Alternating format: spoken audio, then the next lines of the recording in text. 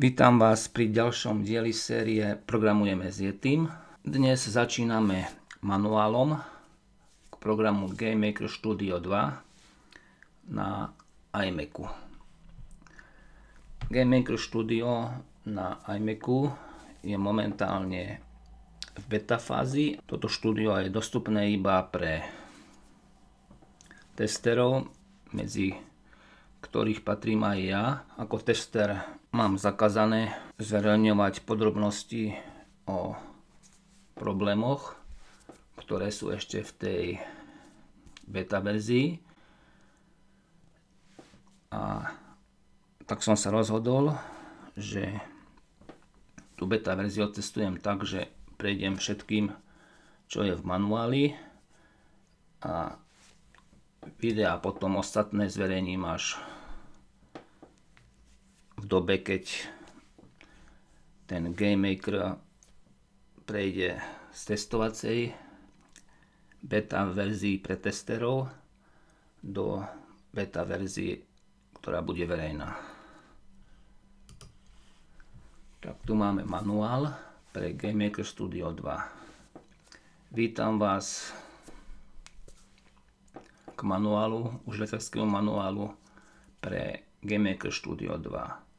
Tento dokument sa delí na tri časti a cieľom tohto dokumentu je uviesť vás do rozhrania interfejsu a zoznámiť vás so základom práce štúdiu GameMaker Studio 2 skôr ako sa dáme do pokročilejšieho používania. Zoznámime sa s funkciami, ktoré sú pre nás dostupné vďaka skriptovaciemu jazyku GML a zoznámime sa aj s vizuálnym skriptovacím nástrojom. Drag and drop potiahni a pusti. Aby sme vám uľahčili úvod do práce. Vytvorili sme rýchleho štartovacieho sprievodcu.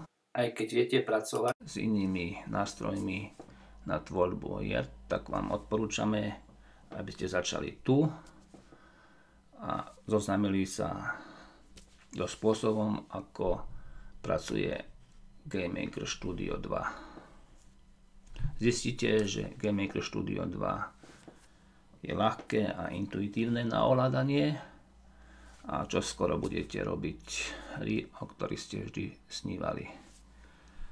Poznámka.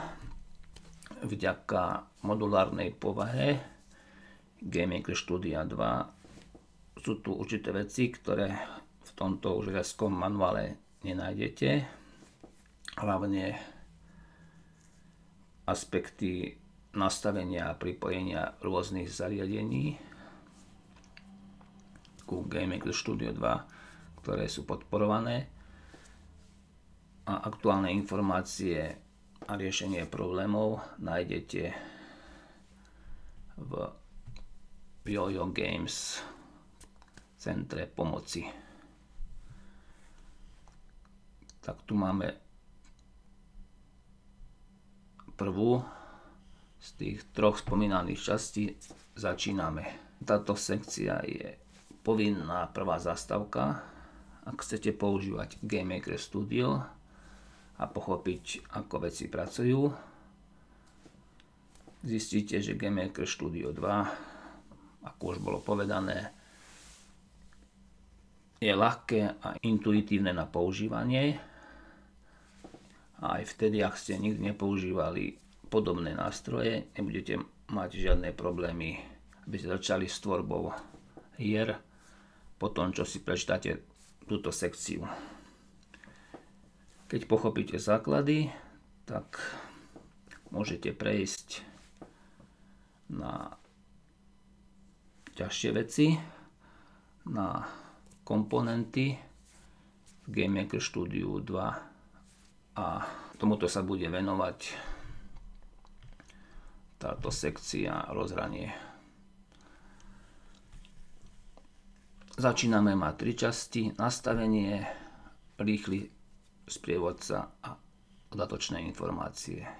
Interface, čiže rozhranie, ID GameMaker Studio 2, ID to je skratka od integrovaného vývojového prostredia, má veľké množstvo pokročilých možností, ktoré majú veľký význam, chcete dostať z našeho produktu čo najviac. Medzi tieto pokročilé možnosti patria nástroje na správu zdrojového kódu, konfigurácia projektu, pokročilé nástroje ladenia a množstvo extra nástrojov na zmenu a manipuláciu s asetmi hry. Treba si uvedomiť, že dostupnosť týchto pokročilých nástrojov závisí od verzie GameMaker Studia 2, ktorú používate. Takže sa tu zoznamíme s editormi, s nástrojmi, s nastaveniami a v poslednej tretej časti sa budeme venovať skriptovaniu. Táto sekcia sa zaoberá